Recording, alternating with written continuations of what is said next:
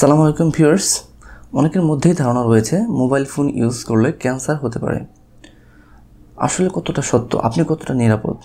আজকের এই এপিসোডে আমি ডিটেলস আলাপ করব সাইন্টিফিক ব্যাখ্যা সহ। আসলে মোবাইল ইউজ করলে ক্যান্সার হয় কি হয় না?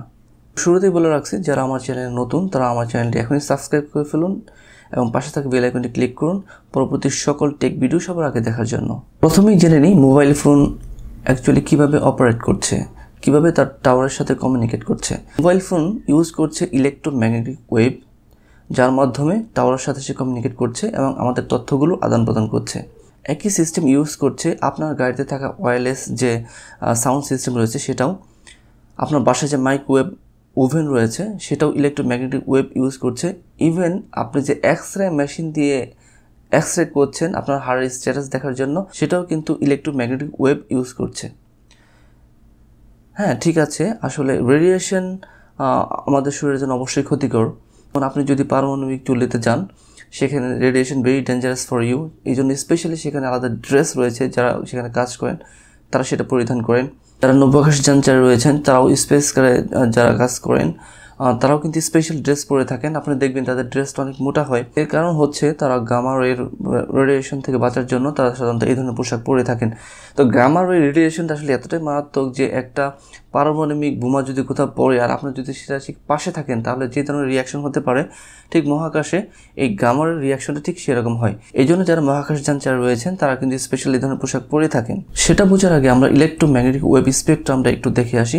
সেখানে আপনার ক্লিয়ারলি এখানে দেখা যাচ্ছে যে সবচেয়ে বেশি ফ্রিকোয়েন্সি রয়েছে গামারে এবং সবচেয়ে লো ফ্রিকোয়েন্সি রয়েছে আমরা যারা রেডিও ব্যান্ড আর মোবাইল ব্যান্ড ইউজ করছি, তারা হায়ার ফ্রিকোয়েন্সি আর লো ওয়েভ লেন্থ আমি যেটাই বলি না কেন, তার মধ্যে রয়েছে হিউজ পরিমাণ এনার্জি যেটা আপনার শরীরের ডিএনএর যে কেমিক্যাল স্ট্রাকচার রয়েছে সেটাকে ড্যামেজ করে দিতে পারে। লাইক এক্স রে আর গামারের যে রেডিয়েশনগুলো রয়েছে এই রশ্মির যে রেডিয়েশন রয়েছে, এগুলো কিন্তু শরীরের জন্য রিয়েলি মারাত্মক এবং যেগুলো আপনার ক্যান্সারের কারণ হতে পারে। আমরা বিভিন্ন টেস্ট করার সময় যখন এক্স রুমে যাই, তখন দেখি যারা এক্স করেন, তারা স্পেশালি অন্যরকম একটা ড্রেস পরেন। এর মেন কারণটাই হচ্ছে তারা ওই রেডিয়েশন থেকে বাঁচার জন্য। কিন্তু আমরা যারা মোবাইল ইউজ করছি তাদের ফ্রিকোয়েন্সি রেঞ্জটা আসলে কত?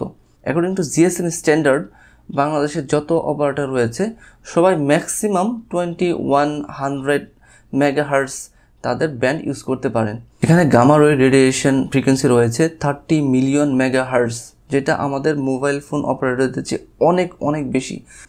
এবং সেই ফ্রিকোয়েন্সিতে এত পরিমাণ এনার্জি রয়েছে, যেটা আপনার ডিএনএ স্ট্রাকচারকে ভেঙে দেওয়ার জন্য যথেষ্ট।